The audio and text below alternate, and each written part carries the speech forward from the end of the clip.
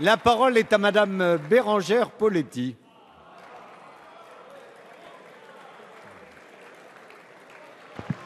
Merci, Monsieur le Président. Ma question s'adresse à Monsieur le Premier ministre. Demain, c'est la journée internationale des droits de l'enfant.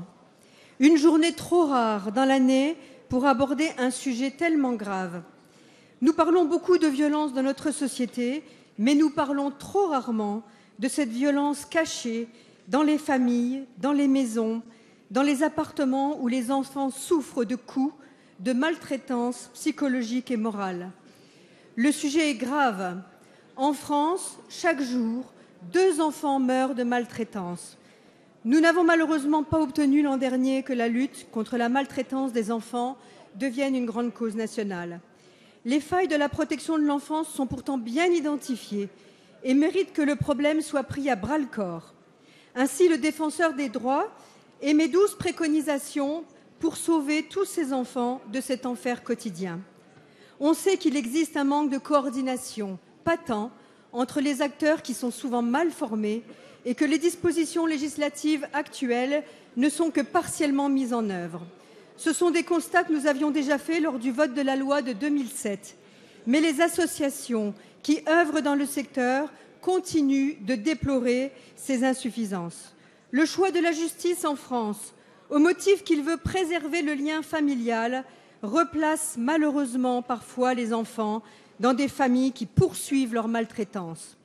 Même si nous connaissons l'existence d'une proposition de loi à venir qui répond à certaines questions, comment peut-on lutter contre cette culture du silence? Comment peut-on améliorer le traitement judiciaire?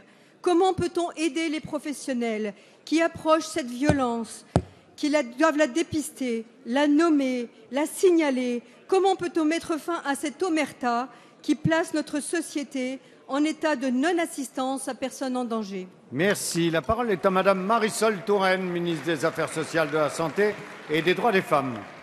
Merci Monsieur le Président, Mesdames et Messieurs les députés, Madame la députée Bérangère Poletti. Vous avez raison de dire qu'il s'agit là d'un sujet grave et que nous devons euh, unir nos forces pour faire en sorte que ce qui se passe dans le silence des familles parfois, dans le silence des institutions aussi, soit euh, révélé au grand jour. Un des acquis de la Convention internationale euh, pour les droits de l'enfant que Laurence Rossignol est, est allée à New York signer le troisième protocole et la possibilité donnée enfin aux enfants de porter plainte lorsqu'ils euh, ont le sentiment que leurs droits fondamentaux sont atteints. C'est une avancée importante. Mais au-delà, dans notre pays, nous devons prêter une attention particulière à ces 275 000 enfants qui sont euh, accueillis par l'aide sociale à l'enfance. Nous savons que des différences de traitement sont fortes au niveau du territoire.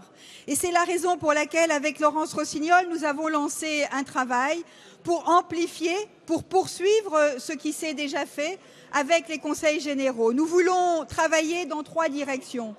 D'abord, permettre euh, de mieux repérer les situations où les enfants sont en situation de danger. Nous savons qu'il y a des départements dans lesquels cela se fait bien, d'autres endroits où, cela se fait euh, moins bien.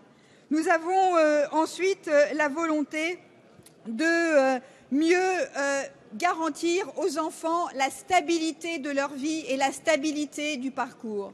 Nous voulons enfin apporter euh, des soutiens aux enfants vis-à-vis -vis des institutions extérieures. Ce travail trouvera un premier aboutissement, un premier prolongement à travers la, première, la proposition de loi de Mesdames Dini et Meunier que vous avez évoquée. C'est une première étape Merci, qui en appelle d'autres et nous nous retrouverons, Merci. Madame la députée.